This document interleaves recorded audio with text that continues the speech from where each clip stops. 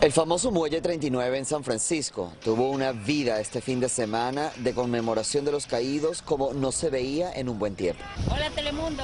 La familia Martínez vino de visita el pasado mes de diciembre. ¿Cómo ven la situación de diciembre ahorita aquí en el, en el muelle? Ahorita está súper encendido. Para esta misma fecha, en el 2020, el muelle estaba cerrado por la pandemia. Una imagen triste y deprimente. Pero hoy, a pesar de las mascarillas, la felicidad de los presentes era palpable. ¿Qué van a hacer hoy? Pues ahorita vamos a caminar un rato y vamos a ver si nos comemos una crepa. Y mira, ¿vas a comer una crepa aquí?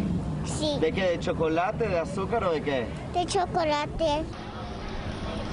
También la fila para entrar al acuario era larguísima, algo que no se veía en meses. ¿La pasaste bien? ¿Sí? ¿Viste muchos animales en el acuario? ¿Tiburón?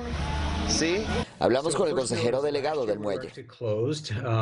Nos dijo que en el 2019 vieron entre 40 y 50 mil personas al día, pero debido a las restricciones que hay, el número disminuyó. Vieron entre 20 y 25 mil visitantes el sábado y el domingo, pero que fue un buen fin de semana. Y aunque no estamos en los niveles prepandémicos, este incremento es bienvenido por comerciantes. ¿Has visto mucha gente ya de vuelta a la ciudad ahorita que la pandemia está casi que se acabó? Sí, ya todos están regresando, muchos de muchos países ya regresan.